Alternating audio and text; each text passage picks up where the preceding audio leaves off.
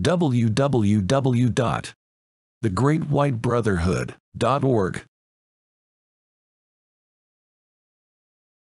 Bigfoot DNA.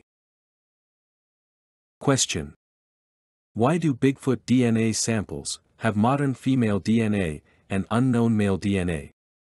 Answer. The nature of DNA testing is still in its infancy, and limits itself to testing just for male and female human DNA. The reality is that DNA is more complicated than that.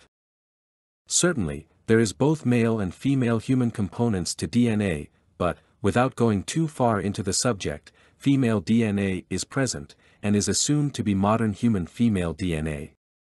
But, in the case of Bigfoot, it is female, but not human DNA. It is the testing limits that fails to differentiate between modern female DNA and female DNA from other humanoid species. As far as the testing reveals, the methods used, just reveal female human DNA, and is not subtle enough to differentiate between the different types of female DNA.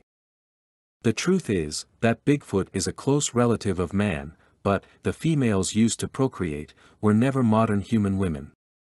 We hope that, as DNA testing progresses, the slight differences will reveal that a creature can have human female DNA, without necessarily being modern human. In the case of male DNA, the reason that it is said to be unknown, is quite simply that the male DNA is sufficiently remote from human DNA, as to be said to be unknown. Once again, as DNA testing progresses, the slight resemblance to modern man will be discovered, and the male DNA will become part of the gene pool. So, Bigfoot is a cousin of humans, with differences in their DNA, that remains, for the moment, a mystery to scientists. Science is very reluctant to rewrite the textbooks, so the obvious truth concerning the existence of Bigfoot is denied. This, in turn, blocks the advance of DNA testing, as any evidence of human DNA is considered to be modern human, and the difference in the male DNA is considered to be of an unknown species. This falsehood will collapse eventually, when scientists overcome their egos sufficiently, to recognize the truth that is staring them in their faces.